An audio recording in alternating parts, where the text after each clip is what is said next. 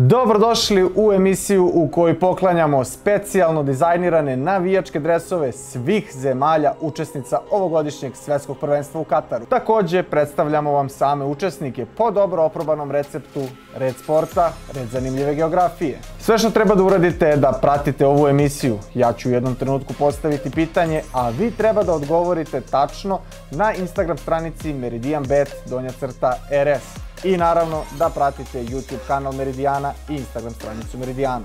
Odgovore pišite ispod slike sa adresom baš te reprezentacije. Pobednik izlačimo nakon što predstavimo sve zemlje iz jedne grupe, što znači na svake dve nedelje, imajući u vidu da će emisija ići sredom i subotom. Da ne dužim previše, vreme je da predstavim. Ahlan, selam aleikum. Vreme da predstavimo prvu zemlju učesnicu i organizatora ovogodišnjeg svetskog prvenstva u Kataru, dakle Katar.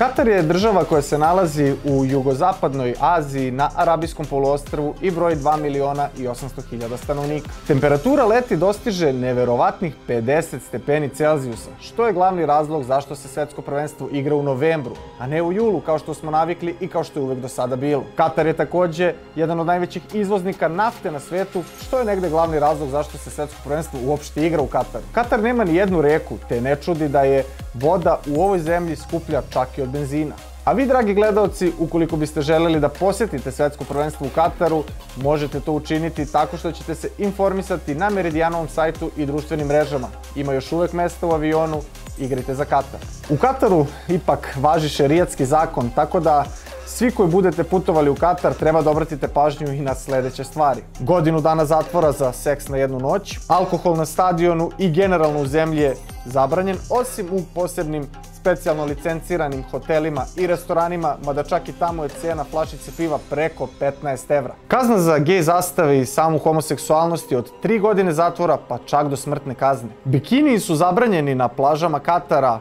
a u javnosti se očekuje da nosite odeću ispod kolena i preko ramena. I posljednje, ako vam slučajno padne na pamet da koristite drogu u Kataru, možete se susresti sa zatvorskom kaznom od čak 20 godina 20.000 evra. Dakle, bolje se fokusirajte na gastronomske egzibicije, a možete da probate i nacionalno jelo mađbus. U pitanju je pirinač sa dimljenim mesom i naravno specifičnim arapskim začinima. Najpoznatija osoba iz Katara je verovatno Nasser Al-Khelaifi, gazda čuvenog Paris Saint-Germaina i jedan od kontroverznih vlasnika klubova. Što se tiče futbolske reprezentacije Katara, njihov nadimak je Al-Enabi, što znači bordo, neka tamno crvena boja sa primesama ljubičaste, slično kao što izgleda njihova zastava. Vrednost tima je po Transfermarktu 19 miliona evra, što ih svrstava negde u rang Vojvodine ili Čukaričkog. Cela reprezentacija igra u domaćoj ligi, a najpoznatiji futboleri su Akram Afif